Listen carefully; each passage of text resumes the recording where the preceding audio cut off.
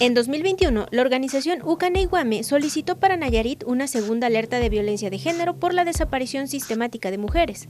De acuerdo a la titular de esta asociación civil, desde el 2015 se habían comenzado a denunciar las desapariciones forzadas de cientos de personas en Nayarit, esto ante la PGR. Sin embargo, debido a la complicidad de las autoridades, nunca se pudo determinar cuántas de estas pertenecían a mujeres, niñas o adolescentes.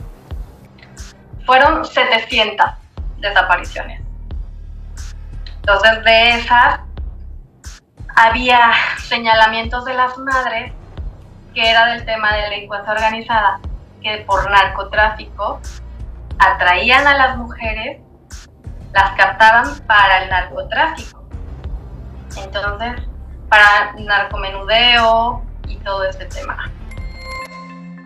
Conforme avanzó el proceso, la entonces PGR se declaró incompetente y remitió a las autoridades nayaritas la denuncia en 2021, obligando a los acusados a investigarse, por lo cual estas nunca avanzaron. En esta denuncia incluso se mencionaron al actual fiscal Petronilo Díaz y al exgobernador Antonio Echevarría por su omisión.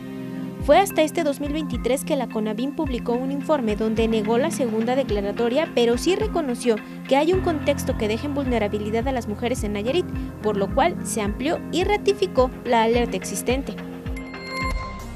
Entonces lo que hacen es, como ya existe un antecedente de, de este tipo, lo que hacen es acumularlo al ya existente.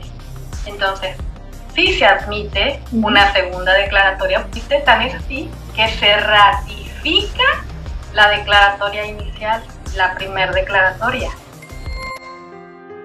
El informe emitido por el grupo interdisciplinario incluye acciones específicas para atender las desapariciones de mujeres, así como para garantizar la seguridad, manutención y fortalecimiento de los grupos de búsqueda, con lo cual se reconoce dicha problemática, que deja para Nayarit al menos 235 mujeres desaparecidas en la última década.